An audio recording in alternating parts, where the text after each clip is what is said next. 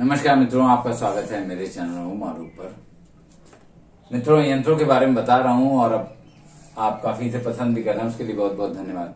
मित्रों, आज मैं आपको किन्हीं दो विशेष नर नारी, लड़का लड़का नहीं, लड़की लड़की नहीं, लड़की लड़का या पुरुष और नारी, कोई से भी दो हों, उनके बीच झगड़ा करने का यंत्र बता रहा हूँ। इसे विद्वेषण यंत्र कहते हैं। झगड़ा करवाने का आपके पास एक समुचित कारण होना चाहिए। उनके संबंध गलत हैं या आ, उनके संबंधों की आपके संबंधों पे फ़र्क पड़ रहा है ऐसा कुछ है कोई ठोस कारण है तो आप इसका इस्तेमाल कर सकते हैं। पूरा यंत्र तो आप फ़ोटो में देख लीजिएगा क्योंकि मैं दिखूँगा तो यहाँ बोर्ड पे इतनी चमक पड़ती है कि दिखाई नहीं पड़ता। तो ऐसे जो डिटेल्ड हैं जो विस्तार से जिनमें दिखना है बताना है वो मैं यहाँ नहीं बताता ताकि आप उसे देख के समझ सकें जो मैं आपको पिक्चर या फ़ोटो देता हूँ। बस कुछ चीज़ बता दे रहा हूँ, इसमें ऊपर ओम स्वाहा और नीचे ओम स्वाहा लिखना है। और इसके बीच में ऊपर लड़के का नाम और नीचे लड़की का नाम है। ये मुख्य बात है। पूरा यंत्र बाकी आपको मैं दिखाऊँगा। और ये भी बताऊँगा कि इसे कैसे इस्तेमाल करना है। चलिए पहले पूरा यंत्र देखिए। और ये देखिए पूरा यंत्र ये है। इसको अच्छी तरह देख लीजिए। अब मैं इसको बताने, बनाने और प्रयोग करने की विधि बताऊँगा। तो देख लिया मित्रों यंत्र आपने।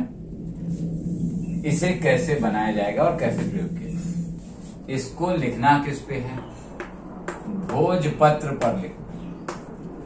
लिखना किस स्याही से है।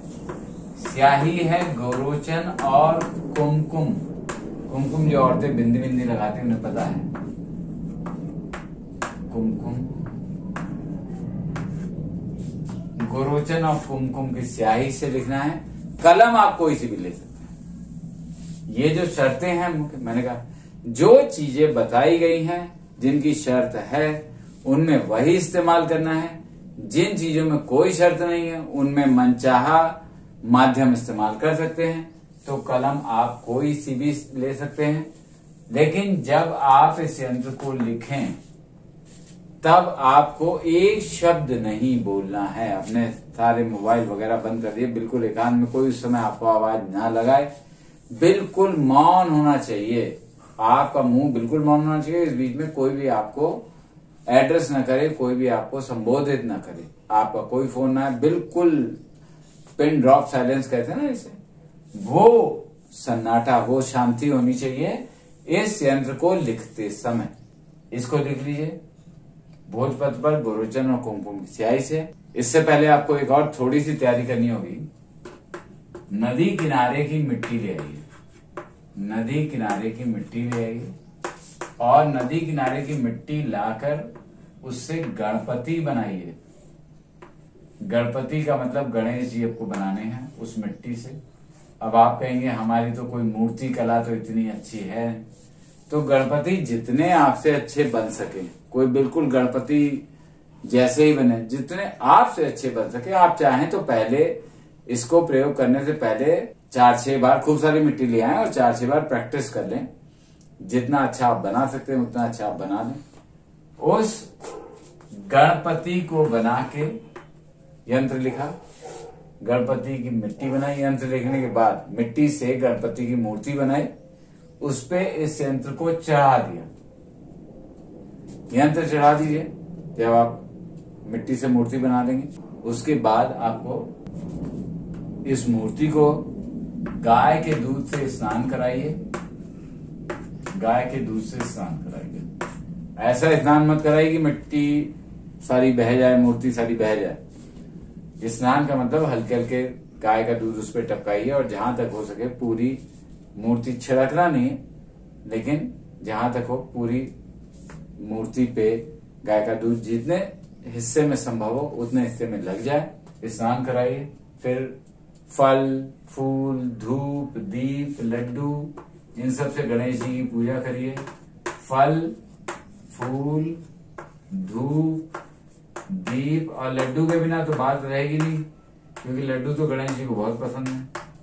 तो लड्डू, इनसे आप इनकी उपासना कीजिए। इन गणेश जी की जो आपने स्वयं बनाए हैं, जिसमें आपकी कामना वास करती है, आपने दिल से बनाए हैं तो बहुत ज़्यादा इस यंत्र का असर बढ़ जाता है। इनकी आप पूजा करिए। ये पूजा करके आपको ये सारा सामान एक मिट्टी के पात्र में रख दीजिए। यानी वो गणेश जी की मूर्ति, वो यंत्र, फूल, फल फूल जो आपने चढ़ाए थे, वो एक मिट्टी के पात्र में रख दीजिए। नदी के किनारे जाइए और नदी के किनारे एक गड्ढा खोदिए छोटा सा, जिसमें ये पात्र पूरी तरह समा गए उसके बाद इस पे लिखिए अघोर दो बार। खड़िया से लिख सकते हैं आप। अघोर, दो बार ऐसे अघोर अघोर लिखिए। और अपनी कामना पूरी करने की दोबारा प्रार्थना करिए। और उस मिट्टी में इस पात्र को दबा के आ जाइए। और आप जिन दो लोगों के बीच लड़ाई करवाना चाहते हैं, ठोस कारणों से, बिना वजह नहीं, सिर्फ़ शत्रुता की वजह से नहीं, उनके बीच में लड़ाई हो जाएगी। उनके बीच में लड़ाई हो जाएगी। बहुत ताकतवर, बहुत शक्तिशाली यंत्र है। मैंने कहा, जितना उपासना पूजा की विधि जितनी बढ़ती जाएगी, उतनी उस यंत्र की ताकत बढ़ती जाएगी। इसीलिए मैंने कहा था कि एक बार मैं बताऊँगा, तांत्रिक बनने के लिए क्या क्या करना पड़ता है। वो उपासना की हद तक चले जाते हैं। और उपाय जो दिए होते हैं, वो उनकी हदें हदें ही नहीं होती कोई। फ़िलहाल जिनकी हदें हैं, उन्हें आप कर सकते हैं। फिर मिलेंगे मित्रों, मेरे चैनल ओमालोक पर। नमस्कार।